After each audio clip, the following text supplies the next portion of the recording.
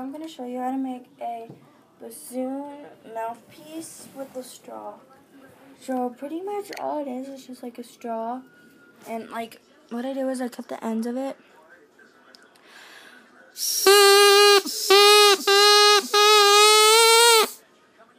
And then I put holes to make it look like something else.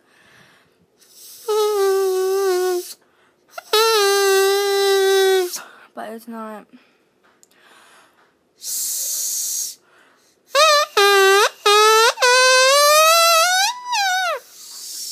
The tighter you get, the higher the sound. So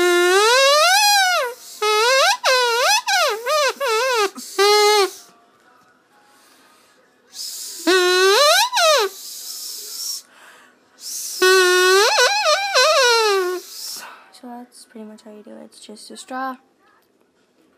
And the ends cut off to make it easier to blow.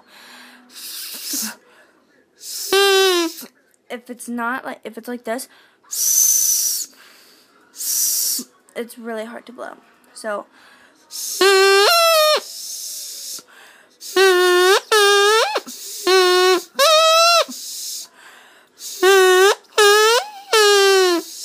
So that's how you do it.